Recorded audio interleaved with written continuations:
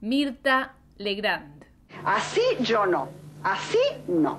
Lo que sabe un centennial y millennial de Mirta es que es una señora mayor, que su discurso es ultra conservador y que es el tópico de cientos y cientos de memes. No estés nervioso, que no te voy a poner nervioso ni te voy a hacer pasar un mal momento, te lo puedo asegurar. Pero te quiero preguntar, por ejemplo, ¿por qué mataste a tus padres? Pero, si vamos a la biografía de Mirta Legrand, a la caja negra de su vida, ¿de dónde vino Mirta? ¿Su discurso fue así siempre? ¿Quién carajo es Mirta Legrand?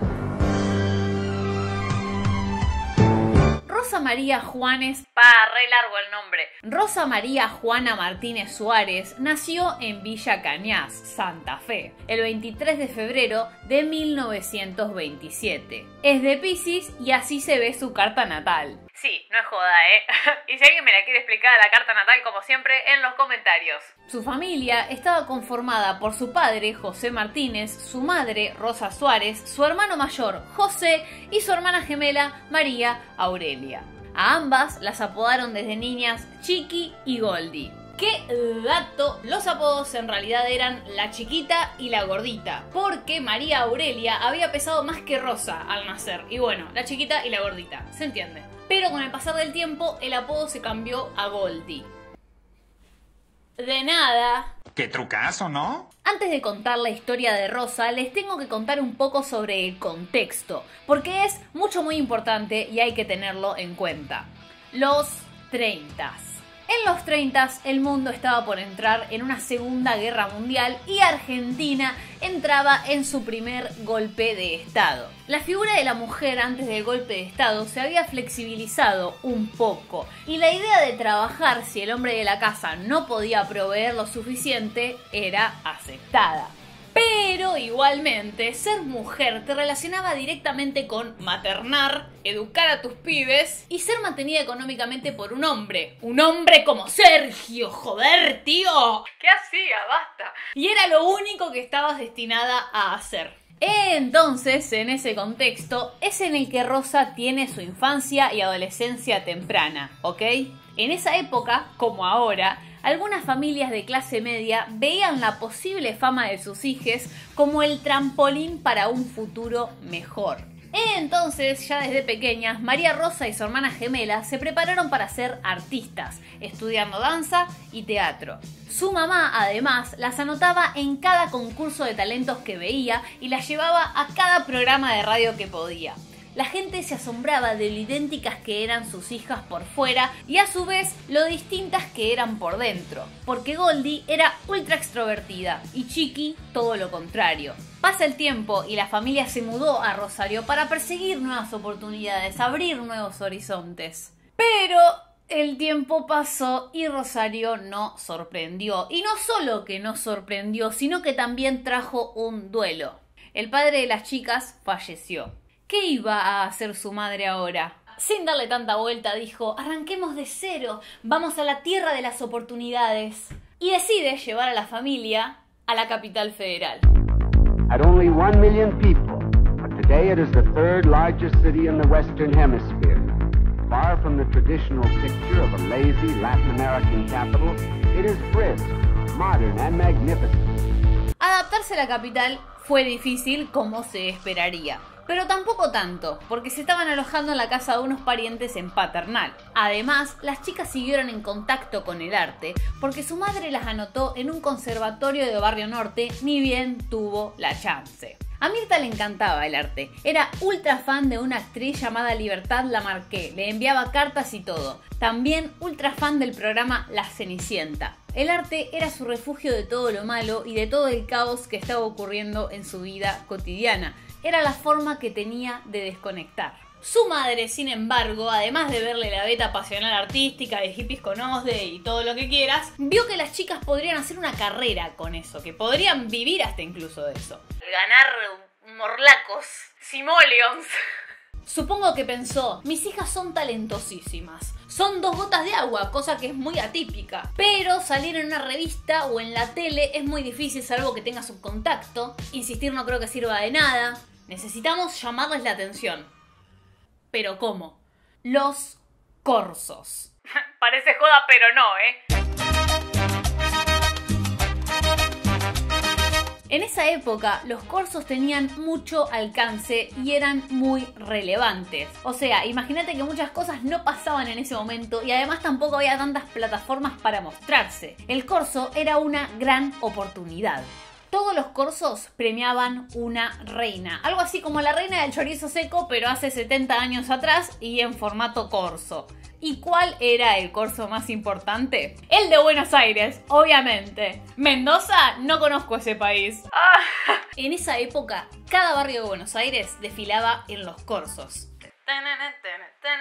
La mamá de las mellizas las anota ese año. Les diseña el mejor disfraz que te puedas imaginar. De hecho, primer año que participan, primer año que ganan. Tipo, Goldie salió coronada reina y Chiqui princesa.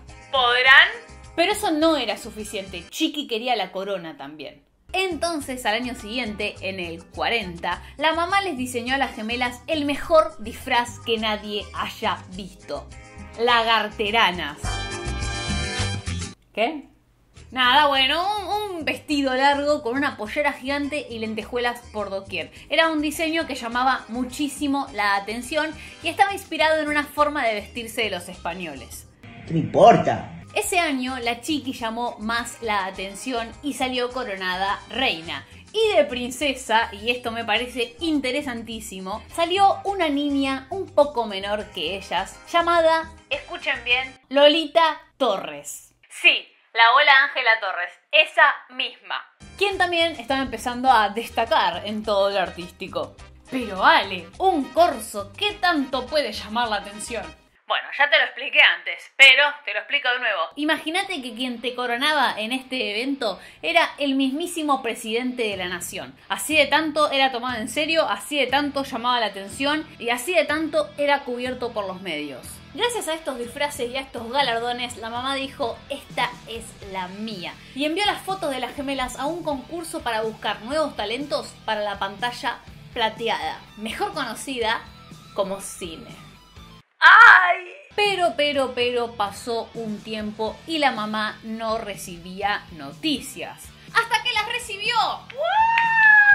Resulta que las gemelas habían quedado seleccionadas y querían que fueran a un casting frente a un reconocido director de cine. Obviamente que fueron, y una vez ahí, este director notó que Goldie la tenía mucho más clara que la Chiqui, y que además era ultra extrovertida y mucho más personaje. Sin embargo, el director apostó por la dupla, porque lo que no podía negar era que visualmente era cautivante ver a dos seres idénticos. Es así como más tarde ese año Rosa y María cumplen 13 y además logran conseguir su primer ansiado rol en un film llamado Hay que educar a Nini.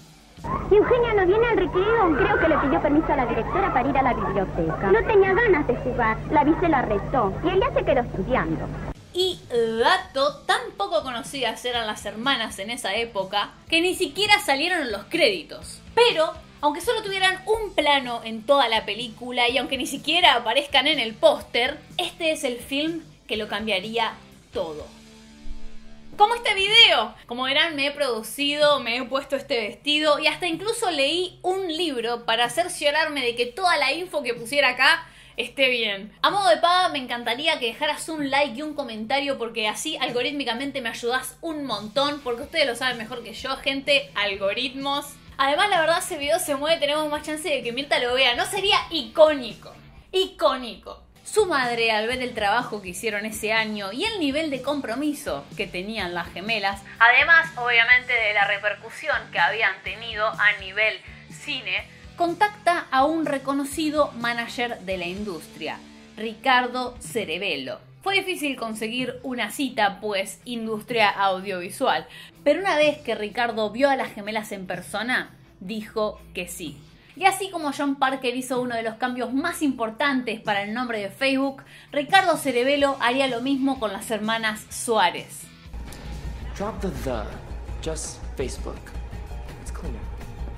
Un año después, con tan solo 14 años, a las gemelas las llamaban con ofertas para películas por doquier. Fue así que filmaron, por ejemplo, Un novio para las muchachas, las dos juntas en el 41.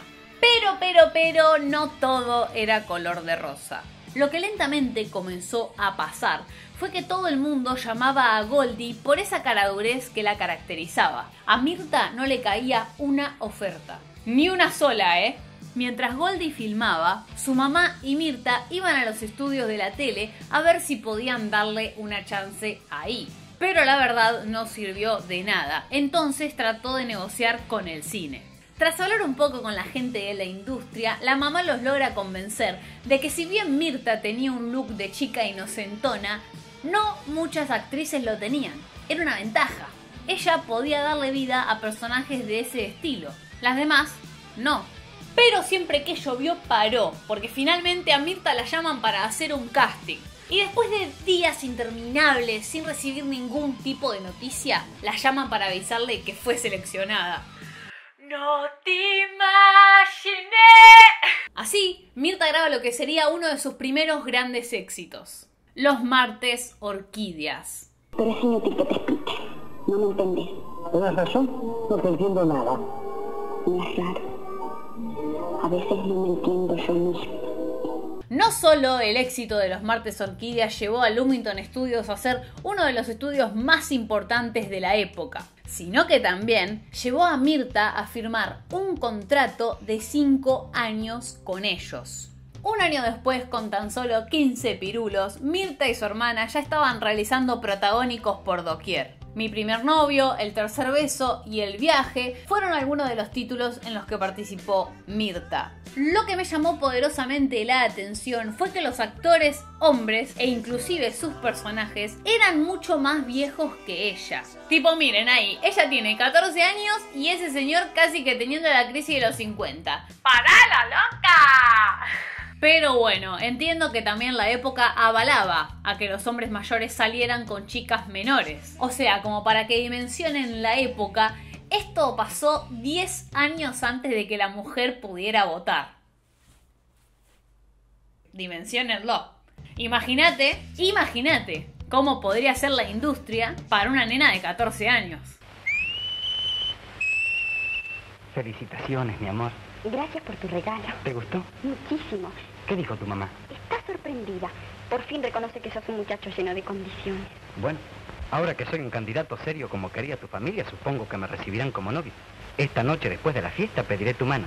Y desde mañana... It's time to stop! No more! Where the fuck are your parents?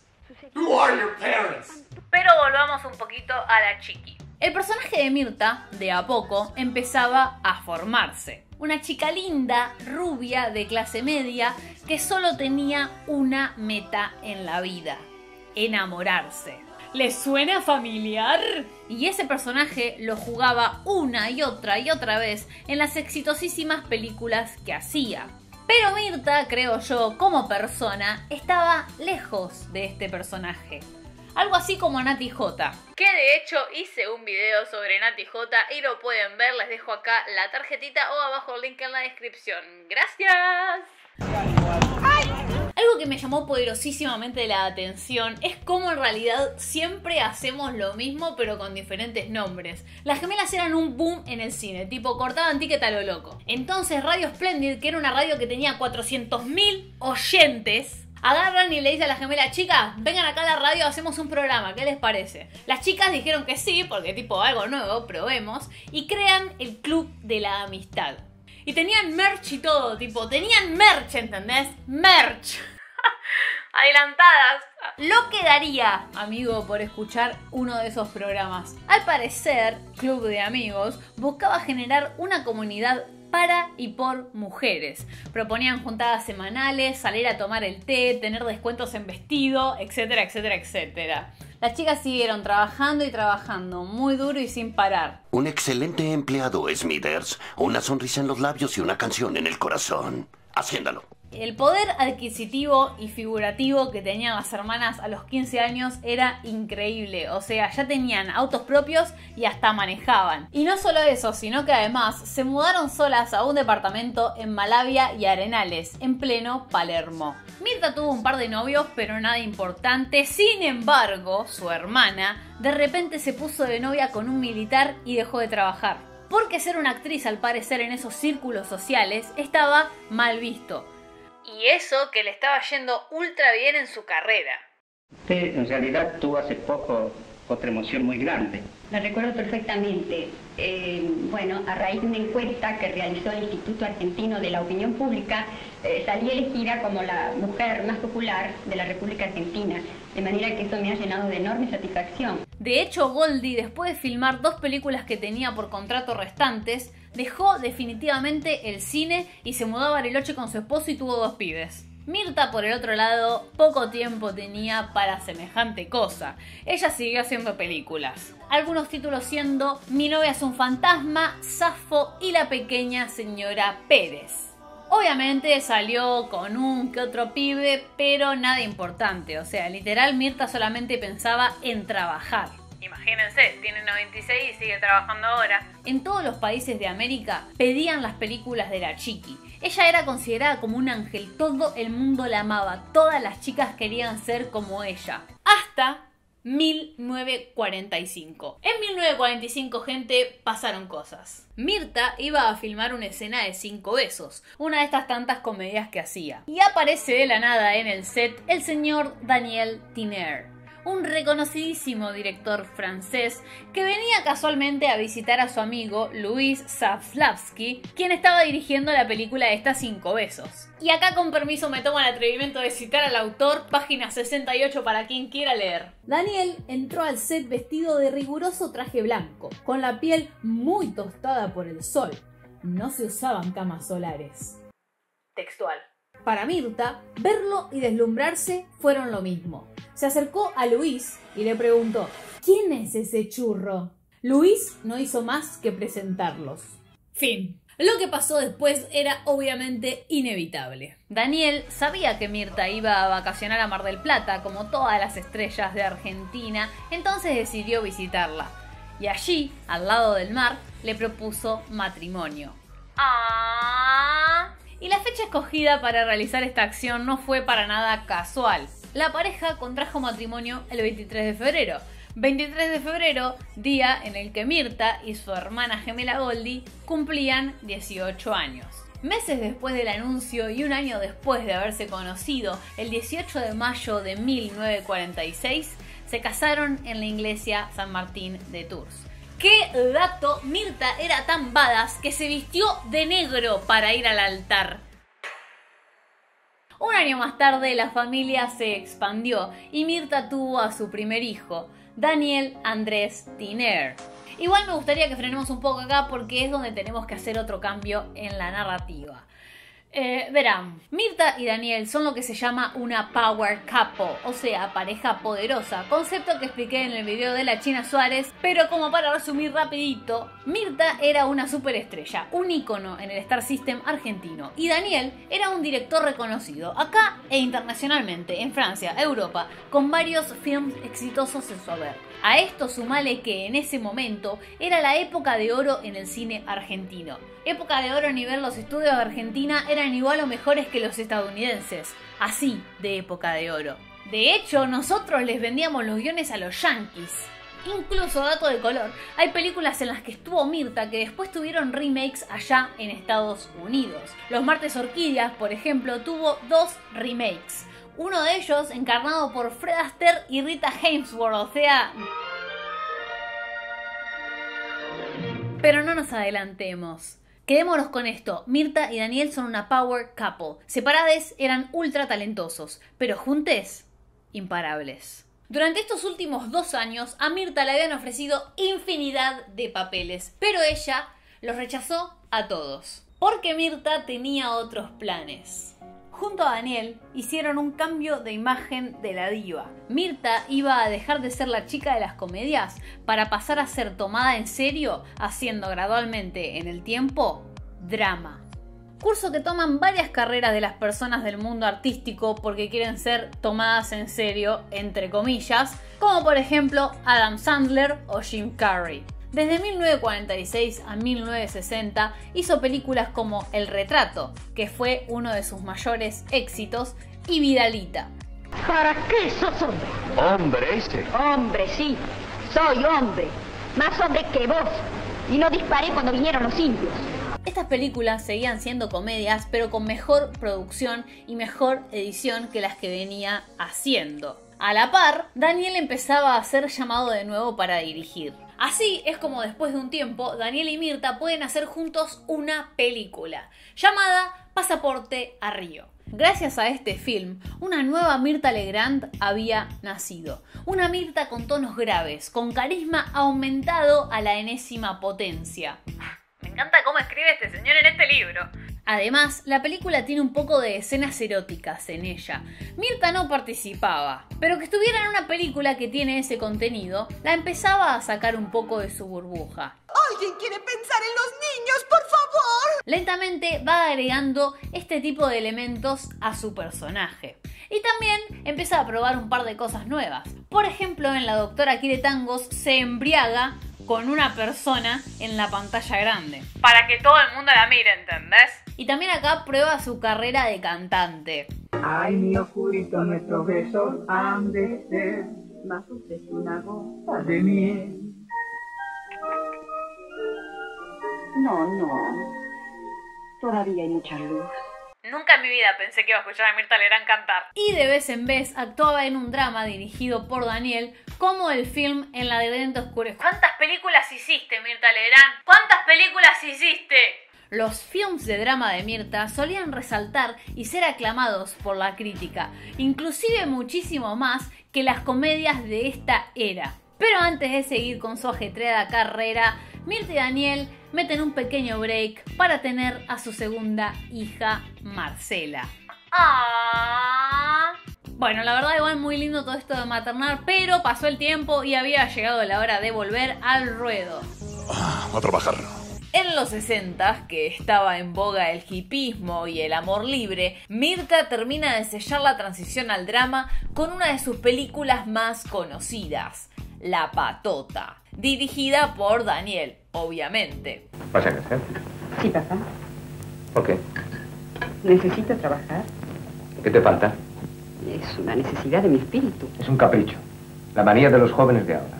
Ser libre. Quiero ser algo, ser útil. ¿A quién? A los demás. Ah, palabras.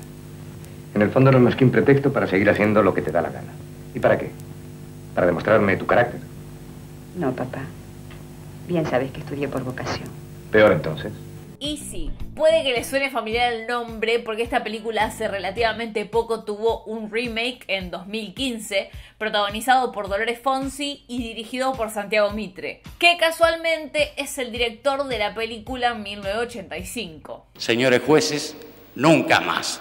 La patuta muestra la vida de una profesora de instituto que un día es abusada sexualmente y agredida por un grupo de hombres. Fuerte, fuerte la consigna, lo sé, también le fue a la película que recorrió festivales por todo el mundo, hasta estuvo incluso en el Festival de Berlín y fue aclamada sin parar por la denuncia social que hacía. Gracias a La Patota y a Con Gusto a Rabia, que es otra película de denuncia social, es que Mirta se consagra como actriz de drama.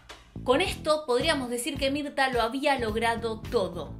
Por eso fue así que después de 36 películas, sí, 36 películas, Mirta decide finalmente descansar un rato. Bien merecido, Mirta, bien merecido. Con los millones que había generado y su trascendencia, además de comprarse casas por toda la Argentina y quién sabe dónde más, Mirta desaparece de la escena por un par de años. Hasta en 1968. Hablemos de 1968 porque acá es el tercer breaking point de esta historia.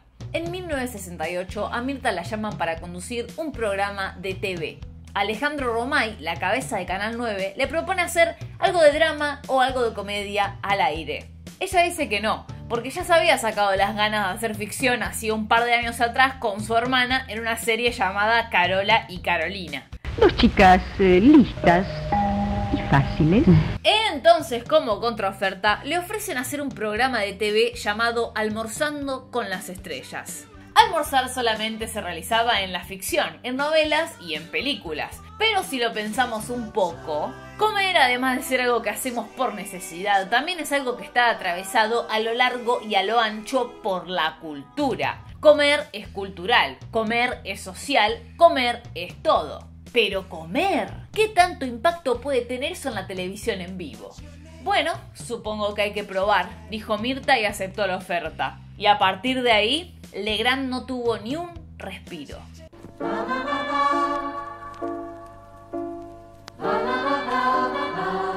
Almorzando con las estrellas justamente proponía almorzar con las estrellas, personalidades políticas y personas de cualquier otro ámbito que tuviera relevancia en la actualidad del país.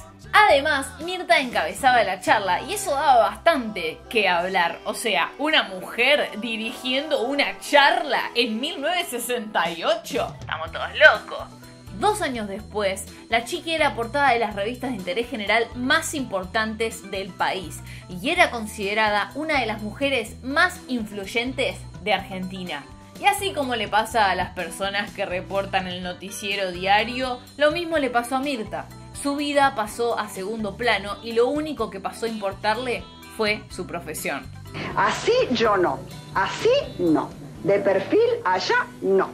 No me gusta. Pero miren, che, hablé tanto que ya es 1983 y se recuperó la democracia. ¡Vamos! Argentina volvió a tener vida, a tener colores, a ser libre, como debe ser. Los temas que se hablaron en la mesa por aquel entonces eran por demás interesantes. O sea, imagínate, había libertad, podíamos decir lo que quisiéramos. Por ejemplo, usó esta libertad para dedicarle un programa entero a la homosexualidad e invitar gente trans, travestis y psicólogos y gays y todo el colectivo con el fin de debatir el asunto. Bueno, pero está bien, no hay que discriminar. Yo soy católica, practicante, y tengo un espíritu que, bueno, que pienso que hay que aceptar al ser humano como es, ¿no es cierto? Y entonces hay que ser un poco más amplio en la vida, ¿eh? No- En 1992, el programa se vio nominado con el premio Martín Fierro de Oro. Me pienso llevar uno, aunque sea. Y los almuerzos resultaron ganadores. Y todo seguía igual, todo seguía igual de bien. Hasta que en 1994 Quiero decirles que es el momento más duro que me toca vivir en toda mi carrera artística, en toda mi vida. Esta vuelta a hacer este programa que queríamos tanto con Daniel es sumamente doloroso. Hace hoy 15 días le estábamos dando cristiana sepultura a mi querido, a mi amado Daniel. Les pido disculpas. Yo voy a llorar seguramente.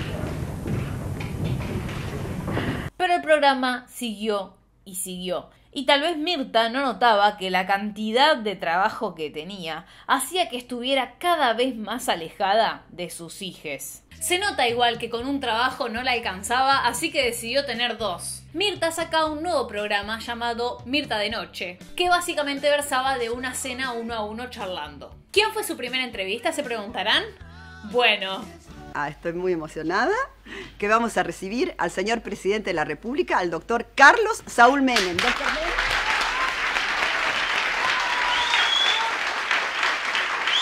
Tres horas después. Mientras piensan en esto, voy a comer un pedazo de torta, si me disculpan. ¡Ah, está muy buena! Mukbang. ¿Llegar al verano? Yo ya llegué. Estoy practicando para cuando vaya a la mesa. Mm.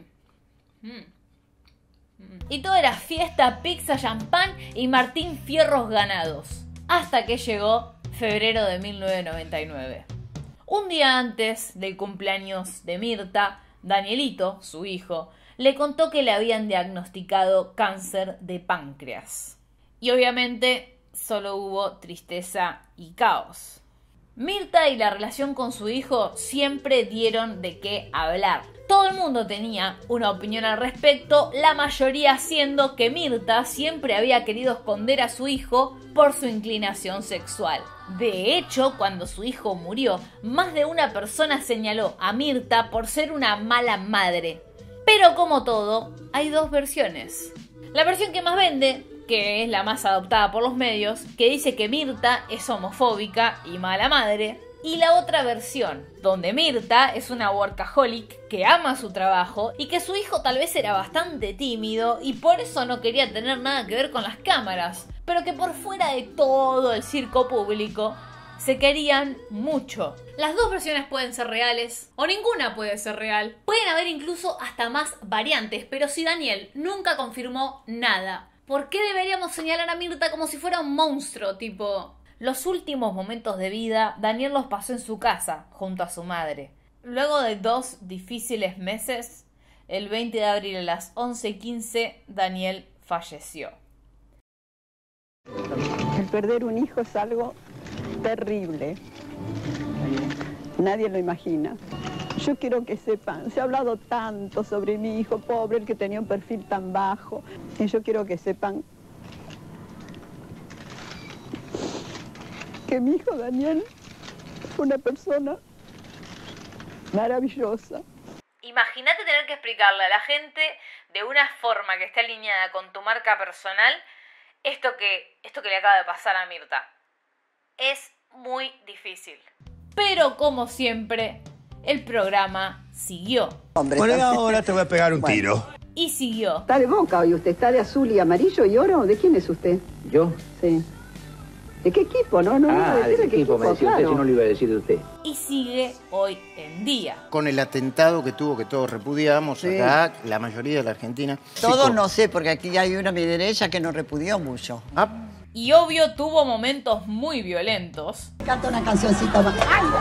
¡Ay, ya veo! ¿Quién tiró esto? Momentos que son muy desubicados, pero por los que después se disculpó. Mira, te voy a hacer una pregunta muy delicada. La pareja de homosexuales, suponte que adoptan un chico. En la actualidad, Legrand es la única presentadora de televisión con 95 años que sigue en el rubro. Y su programa, que tiene 46 temporadas, es el más extenso del mundo. Los Simpsons solo tienen 33. ¿Entendés? Obviamente que a veces puede ser un poco dinosaurio, pero no podemos negar que desde su plataforma siempre le brindó a todas las voces un lugar. Como hace Feynman, que de paso hice un video sobre Feynman y lo pueden ir a ver también, gracias. Argentina. ¿Sos nazi vos? Nazi. Sí. Mirta es una persona que está atravesada en cuerpo y alma por la industria de los medios. No creo que Mirta pueda percibirse por fuera de ellos y ellos sin ella tampoco. Adiós.